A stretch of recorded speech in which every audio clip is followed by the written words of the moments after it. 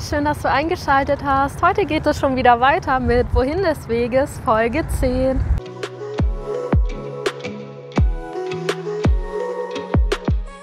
Wir befinden uns hier an der lauten Rappbode-Talsperre. Wie du es hörst, sind hier im Hintergrund ganz schön viele Autos unterwegs und Motorräder. Hier ist so ein Hotspot der Motorradfahrer und Touristen im Harz, würde ich mal sagen.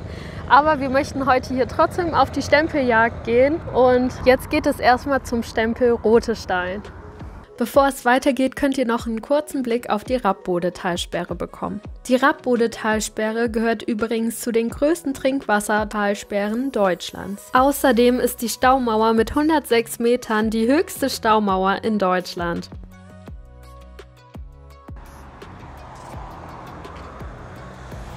Wahrscheinlich kennst du die Rappbode-Talsperre schon, da hier Harzrenalin ansässig ist mit ihrer Giga-Swing, dem Mega-Ziplining, ihrer Titanbrücke. Die Titanhängebrücke möchte ich euch am Ende des Videos zeigen, da wir jetzt hier erstmal eine Rundwanderung machen. Also wir haben auf diesem Parkplatz hier geparkt. Den verlinke ich wie immer in die Infobox. Ich wiederhole mich bei jedem Video, aber es ist halt so, dass dort da alle Informationen stehen. Und wir gehen jetzt zum Rote Stein, die 2,7 Kilometer entlang. Ich habe versucht, den Weg auf der Google Maps Karte ein wenig darzustellen. Hier seht ihr den Parkplatz und da seht ihr Rote Stein, wohin es jetzt auch geht. Dazu müssen wir hier über die Straße erstmal, was gar nicht mal so ungefährlich ist.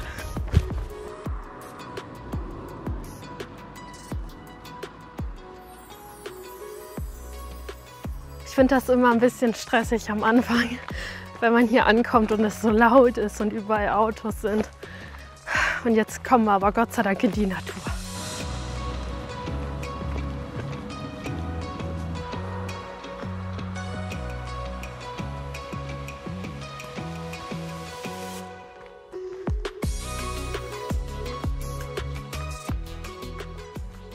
Ich möchte mich gleich zu Anfang auch bei euch bedanken. Also Jordan, Enrico, Dennis und Timo, ihr habt mir ja Geld auf meinem PayPal-Konto zukommen lassen. Dankeschön dafür. Ich werde das auch erstmal dort lassen. Also ich werde da auch nicht rangehen. Und das werde ich dann hier für den Channel nutzen und davon neues Equipment kaufen, damit meine Videos noch besser werden können. Ich habe auch überlegt, falls ich irgendwann mal größer bin, dass ich da eine Aktion suche, die man unterstützen kann. Aber das ist natürlich alles noch ein weiter Weg. Jedenfalls freue ich mich über eure Unterstützung.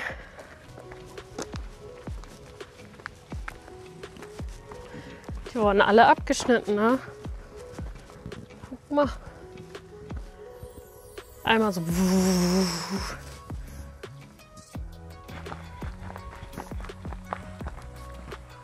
Das hier sieht aus wie ein Damm der Nordsee, ist aber das Pumpspeicherbecken Wendefort.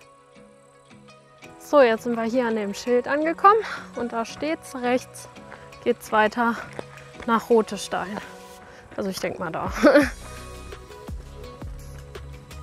genau, 1,6 Kilometer bis nach Rotestein. Kommt da auch die Köhlerei? Ja, danach. Wenn ihr wachsam seid, dann könnt ihr das Eichhörnchen hier an dem Baum sehen.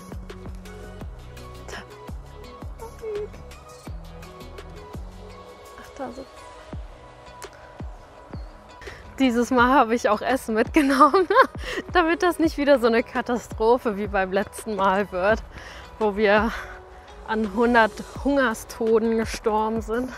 Anschließend haben wir übrigens beim letzten Video beim Imbiss uns leckere Burger geholt und Pommes und eine bunte Tüte und Slush-Eis, also richtig reingehauen.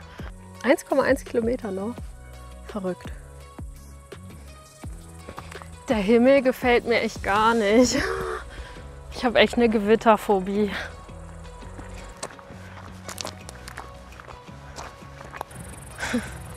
Sieht hier aus wie eine Weihnachtsbaumplantage. Vielleicht ist es ja auch eine. So, und jetzt geht man hier rechts. Und anschließend geht man wieder rüber, um zur Harzköhlerei zu kommen. Aber wir gehen jetzt hier rechts lang. Also gehen wir diesen Weg hin bis nach Rotestein und dann halt auch wieder zurück, damit wir zur Köhlerei kommen.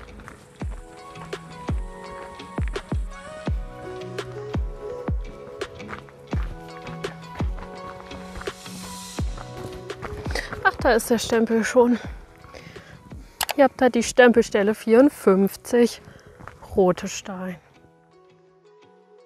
Leider konnte ich nicht den ganzen Platz filmen, da dort Leute saßen, aber allzu groß ist er wirklich nicht. Wie anders das jetzt hier schon wieder aussieht.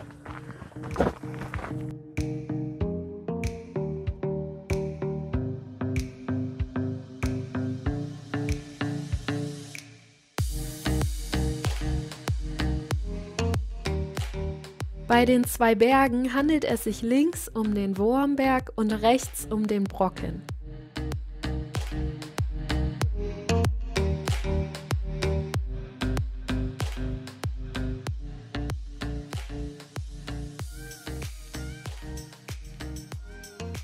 Hier habt ihr nochmal einen kleinen Vergleich, wie der Wald vor dem Borkenkäfer aussah. Wir waren jetzt am Rotestein. Ich muss sagen, der sieht jetzt komplett anders aus, der Ausblick dort oben. Ich werde euch mal Bilder zeigen von früher, wie es da aussah, wenn ich sie hier gefunden habe. Ich habe leider nur ein Foto gefunden aus dem April 2019, aber man kann trotzdem den Unterschied sehen, denn innerhalb eines Jahres hat sich der Wald komplett verändert. Aber die Natur wird sich wahrscheinlich ihren Weg zurückerkämpfen. Ich meine, der Harz war ja auch eigentlich kein Nadelwald, sondern ein Buchenwald, bin ich der Meinung. Ja, und jetzt gehen wir wieder zurück und zur Harzköhlerei. Und ich werde mal schauen, denn der Himmel grummelt hier schon und ich habe Angst. Ja, das ist halt scheiße, wenn man Angst hat, dann zieht sich der Magen so blöd zusammen. Und so ist es bei mir. Ich bin Schisser, ich gebe zu, schuldig. Ähm, naja, und vielleicht müssen wir da uns ein wenig Unterschutz suchen oder die Route Was denn? Und damit der Route aufhören, weil ich habe mir versprochen, ich will nicht mehr nie wieder bei Gewitter draußen rumlaufen, wenn ich keinen Unterschutz habe. Ja, aber ich will es nicht. Ich habe immer so eine Angst. Ich bin sehr geprägt von unserem Erlebnis auf dem Fies-der-Berg. Auf dem Tegelberg. Seitdem ist bei mir Ende im Gelände.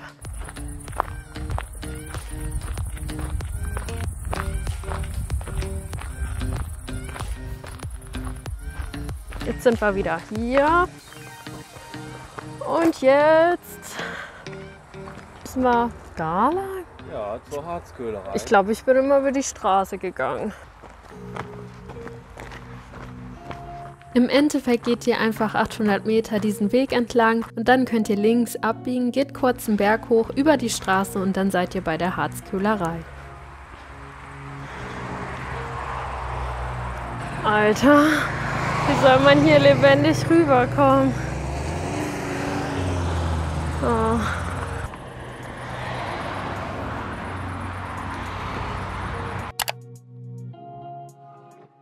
So, neuer Tag, neues Glück. Das Video wird jetzt hier an dieser Stelle fortgesetzt, weil ich ja das Wetter nicht so toll fand. Aber ähm, ja, heute haben wir auch kein Glück, um ehrlich zu sein. Hier scheint irgendwie eine Schlechtwetterzone zu sein, aber ich ziehe das jetzt durch. Beim letzten Mal haben wir ja hier aufgehört und jetzt geht es hier auch wieder weiter, denn wir sind ja hier bei der Köhlerei. Hier gibt es einen Imbiss, das nennt sich die Köhlerhütte Stemberghaus.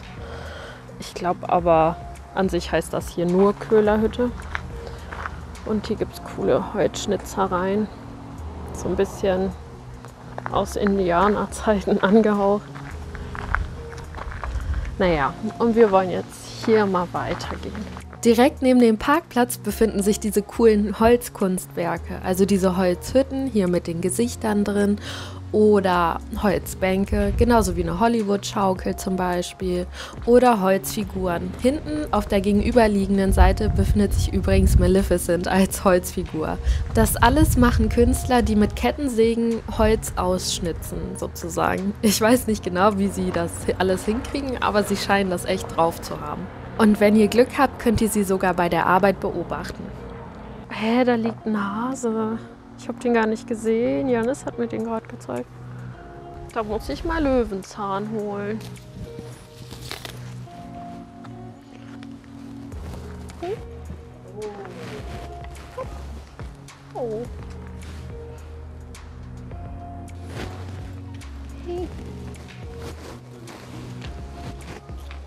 Hier hat er ja auch noch was. Naja, der hat halt keinen Bock. So, jetzt sind wir hier bei der Köhlerei. Und hier könnt ihr sehen, wo es hier überall lang geht. Und wir gehen gleich da lang. Zu Schöneburg, also nach Schöneburg.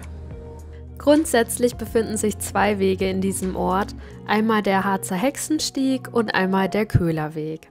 Und hier seht ihr den Eingang von der Köhlerei. Und ganz wichtig die Stempelstelle Nummer 60 der Harzer Wandernadel. Hier sind immer kleine Tierchen, Ziegen. Vielleicht ist der Hase auch hier Du musst doch mal den ausgebüxt. Köhlerhaufen filmen. Ja, quatsch mir doch nicht immer ins Video. Um Holzkohle herstellen zu können, setzen Köhler einen Kohlenmeier, also diesen bedeckten Holzhaufen, in Brand. Übrigens ist der Köhler einer der ältesten Handwerksberufe überhaupt. Hast du gestreichelt? Ja. Ich will auch.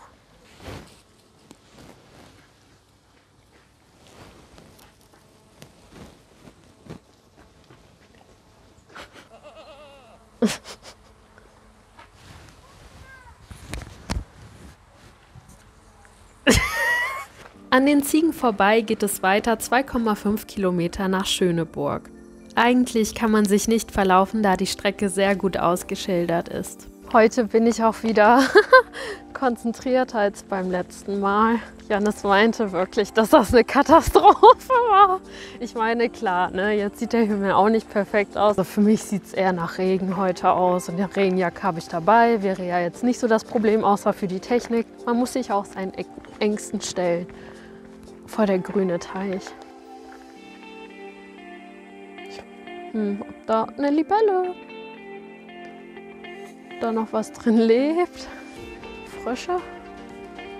Crack. Schreck, ja. Aus dem Teich wurde er erzeugt.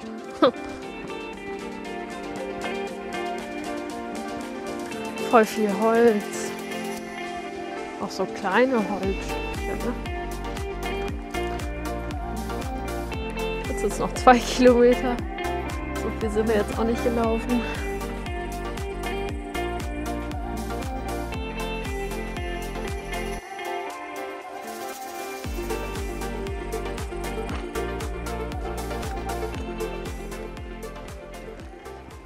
Von der Harzer Wandernadel gibt es ja verschiedene Wanderstempelheftchen.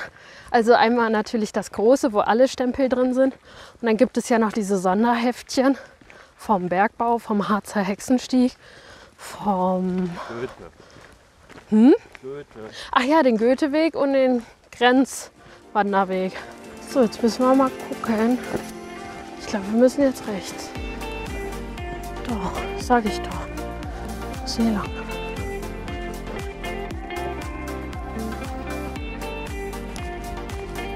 Die Hexe. Sieht man kaum.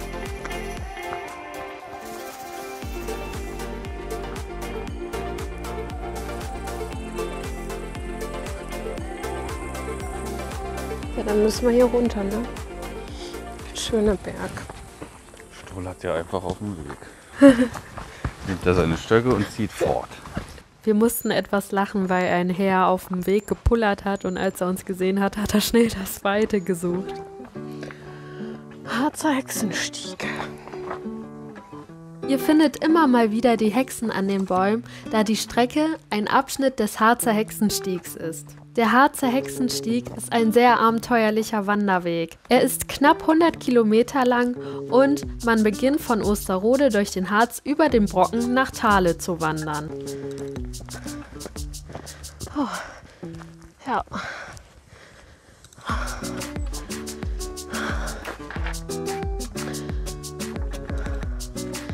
Die schöne Burg. Schöne Hütte, schöne Burg. Mit Blick auf Altenbrack. Oh ja.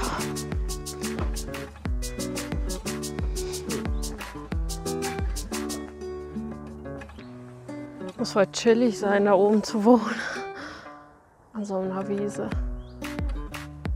Hm. Jedenfalls, ja, aber 1654 das erste Mal urkundlich benannt.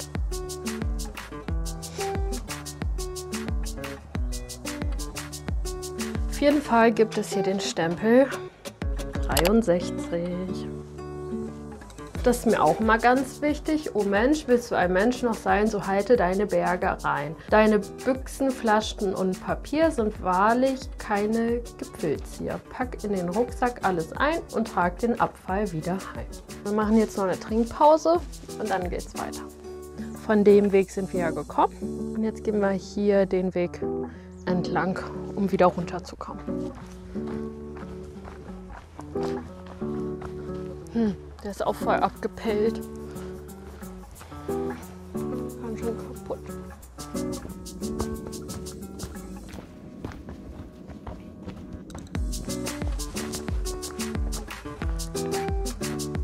Hey. Sieht aus wie ein Drache.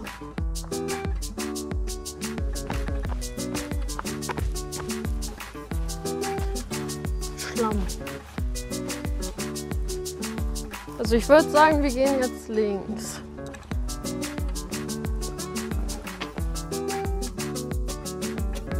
Guck mal, hier kannst du so, so einen Baumquiz machen. Oh. Fichte steht da noch. Ich lasse das lieber. Auf dem Weg nach Wendefurt läuft man die ganze Zeit an der Bode entlang.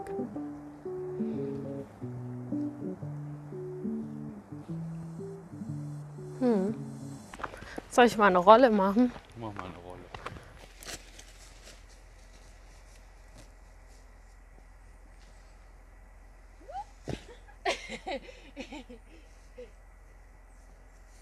Ja, und hier könnt ihr Zielwerfen machen mit Tanzhapfen. Aber ich muss sagen, ganz ehrlich, vorher war das hier alles zu mit Bäumen. Und jetzt ist hier alles kahl. Was ist nur los mit dem Harz? Und dann konnten wir uns die Forstarbeiten sogar live vor Ort ansehen. Nee. Jetzt wird er abgeschnitten. Jetzt Oh, oh, oh.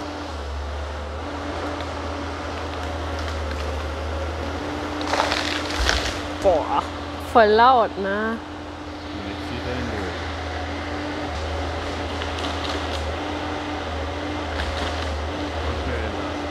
durch. Ja. Das ist schon voll spannend, sowas zu sehen, wenn man so mit einer Maschine den ganzen Wald weg abholzen kann. Aber es ist halt auch traurig, ne? weil, weil man halt sieht, wie krass viel der Borkenkäfer kaputt gemacht hat.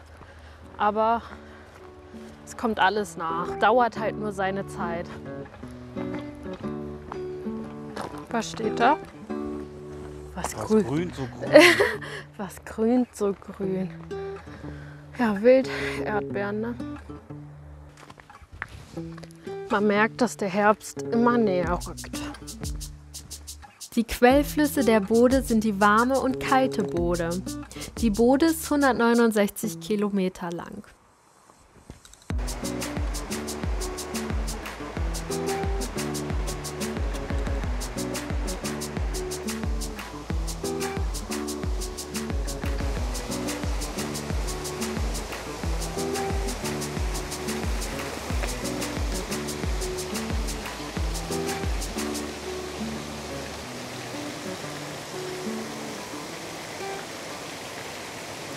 Ich war diesen Sommer irgendwie viel zu wenig schwimmen im Harz. Ich glaube zwei, drei Mal. Mehr war das irgendwie nicht im Sommer. Das Semester ging ja bis Ende Juli.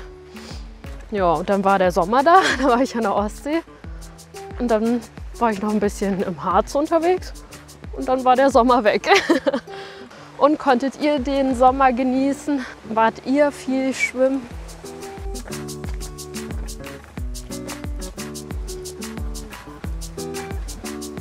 Hier ist so ein Schild, F6. Was soll das sein?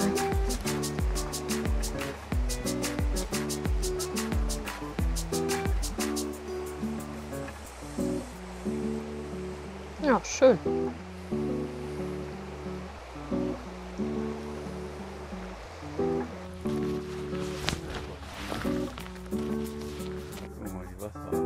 Guck mal, die Enten, wie süß die schauen.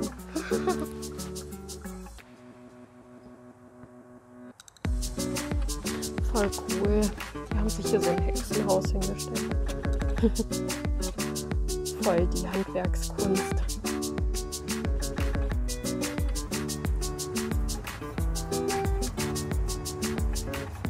Solltet ihr folgen.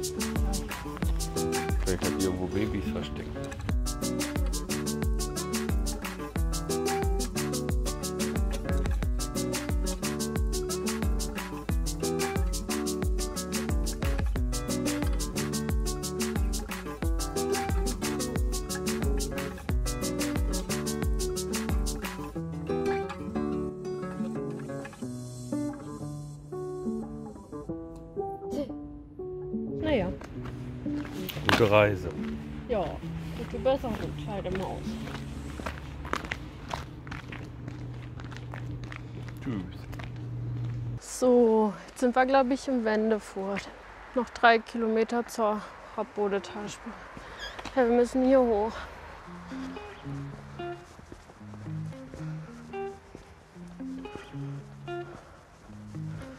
Genau. Hier findet immer das Wall Running statt. Schon cool, habe ich aber bisher noch nie gemacht. Hä? Ich frage mich, was da, was die da machen mit der Turbine oder mit dem Ding, was sich dreht. Mit dem Teil.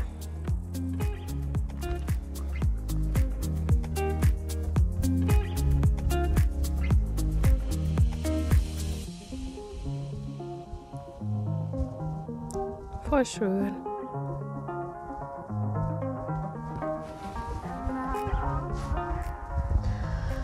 Ja, und da ist der Tretbootverleih. Aber ich glaube, heute haben die einen Ruhetag. Und wir gehen jetzt da so entlang und dann später den Berg hoch zur Talsperre. Ja, da geht's runter zum Bootsverleih. Wir wollten da ja jetzt nicht hin, sondern wir gehen hier lang. Der Sonne entgegen. Dann lassen wir dich mal in Ruhe. Ja,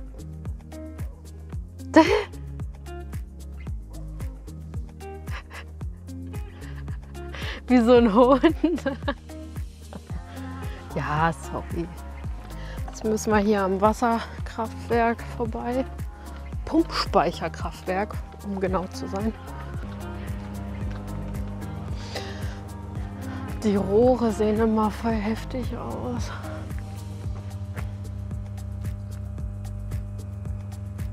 Voll groß.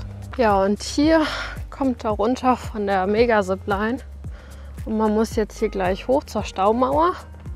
Aber ich möchte euch noch den Ankunftspunkt von der Mega-Zipline zeigen. Ich will da mal reinschauen. Oh, ich dachte schon, aber das ist die Amsel.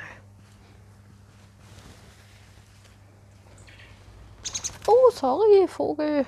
Wow.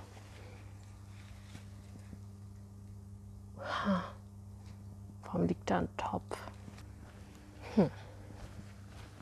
Ja, also da kommt man halt an und dann kann man da wieder hochgehen. Aber ich will mir jetzt hier das mal angucken. Irgendwie habe ich das hier noch nie gesehen. Es riecht auch übelst verbrannt. Janis ist nämlich gerade Pokémon spielen.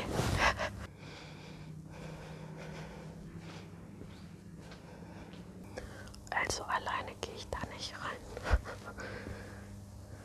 Ich warte noch auf Janis. Das ist immer der Pfeifton, den Janis und ich machen, wenn wir uns verloren haben. Hast du eine Taschenlampe?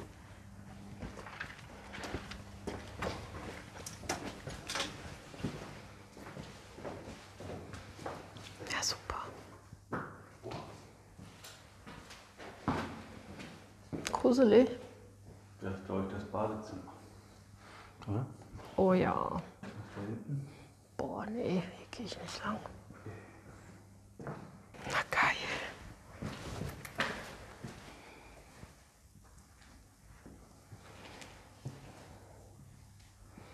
Oh, wie viele Spinnnetze.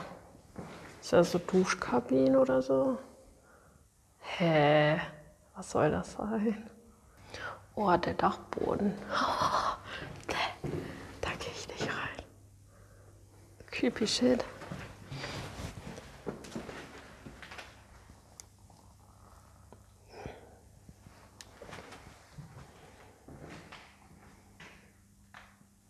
Papier.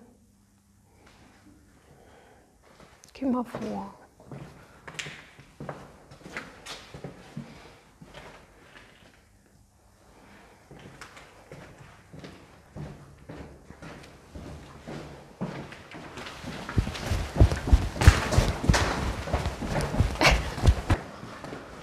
Oh, ist immer gruselig.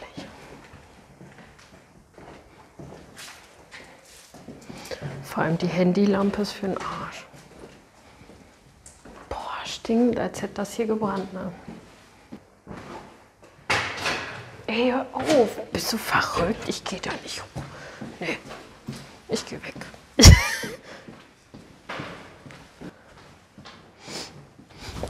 oh, also Lost Place Geschichten finde ich auch mal ganz cool. Aber ich habe immer Angst. Ich wurde auch mal gefragt, ob ich hier so eine Lost Places Videos machen würde, aber nee. Jetzt sind wir hier wieder am Pumpkraftwerk. Pumpspeicher. Jetzt geht es hier den Berg hoch. Das wird schön anstrengend. Der ist da oben, ne? Der Pumpspeicher? Da oben und dann geht der durch die Rohre, Rohre runter oder was? Ach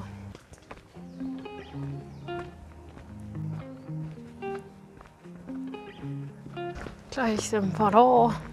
Da ist die Brücke. Ja. Die Titanbrücke.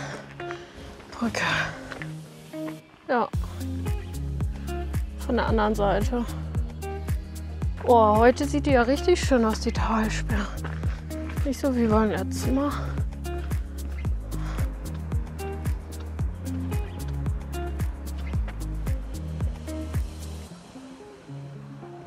Gesundheit.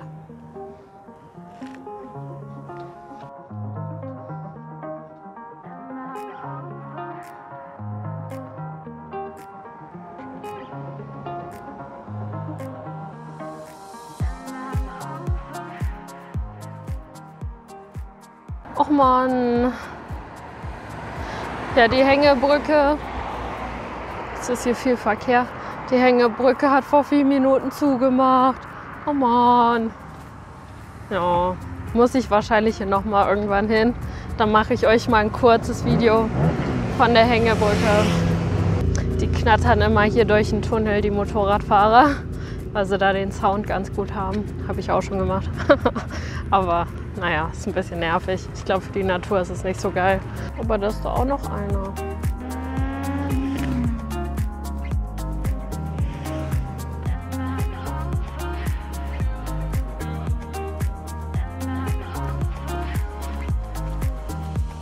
Wir gehen jetzt hier die Straße wieder entlang, bis wir bei der Köhlerei sind. Ja, hier hatten wir beim letzten Mal geparkt. Und jetzt heißt es weitergehen.